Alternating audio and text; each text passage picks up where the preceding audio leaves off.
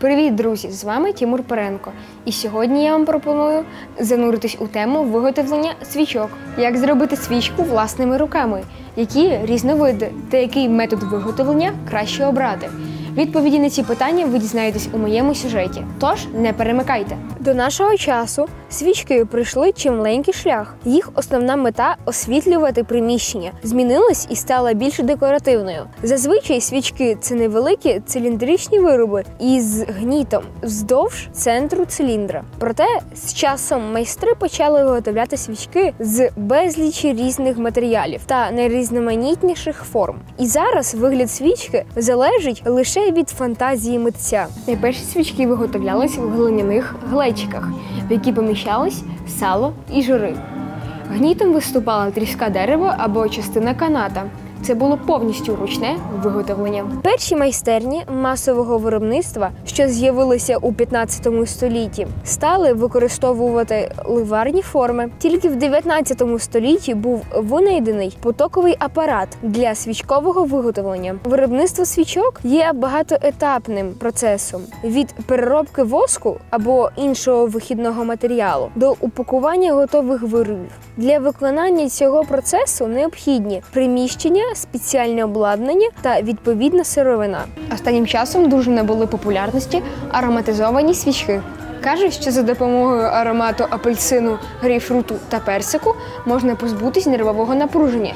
Тож свічки це гарний спосіб розслабитись. А зараз розкажу трішки про види свічок. Господарські, найбільш прості, доступні та поширені. Основний матеріал для створення парафін без додавання будь-яких барв. Церковні свічки виготовляють з бджолиного воску. У деяких випадках до нього можуть домішувати парафін або стеарин. Для виготовлення свічок таблеток використовують компактний корпус з алюмінію. Найрізноманітніші матеріали і прикраси додають до декоративних свічок. Їх завдання сприяти створенню естетичного зовнішнього вигляду. Дуже популярними стали і гелеві свічки. Для їх виробництва використовується гліцерин. Маса з гелю відрізняється прозорістю і переважно немає кольору. Такі свічки максимально естетичні та декоративні. Свічку можна зробити і самостійно. Ходімо знайомитись з фахівцем, який допоможе нам і підкаже, як уникнути різних помилок.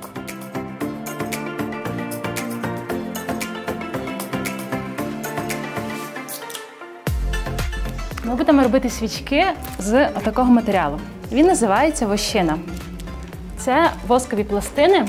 Їх ставлять у вулик, щоб бджолам було легше збирати мед. Але такі от сфарбовані використовуються для того, щоб робити з них свічки.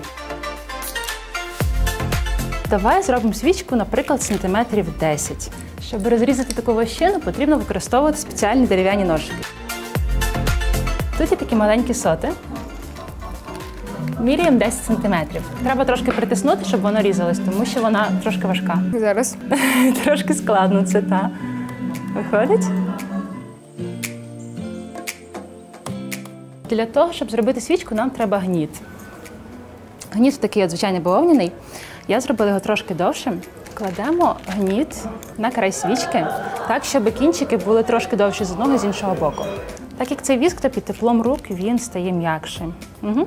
Тепер саме складне. Треба акуратно взяти і скрутити цей кусочок довкола гніту. що він не поламався. А він не поламається. Він не поламається, тому що це ну віск, а віск гнучкий. Так, вибери собі якийсь один край, і на нього, коли будеш скручувати, рівняйся, щоб в тебе свічка не вийшла така трошки коса крива.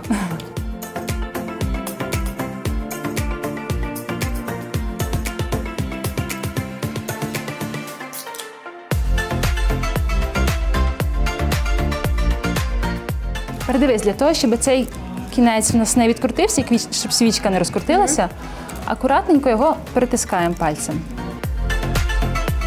Вибирай, яка сторона тобі більше подобається з них. І тому з іншого боку я просто відріжу зайвий гніт. Все, свічки готові. Давайте ще зробимо одну свічку. Давай ще одну.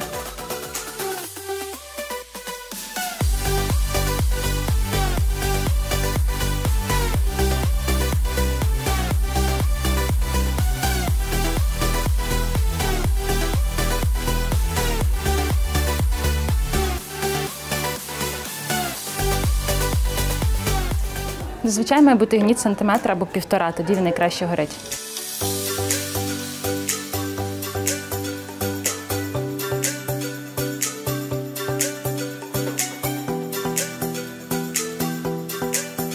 Процес виготовлення свічок схоже на диво. Тут усе залежить від вас, яку форму ви оберете, який аромат виберете, та чи будете прикрашати. Не бійтесь робити щось самостійно і давати свободу своїй фантазії. А з вами був я, Тимур Перенко. Па-па!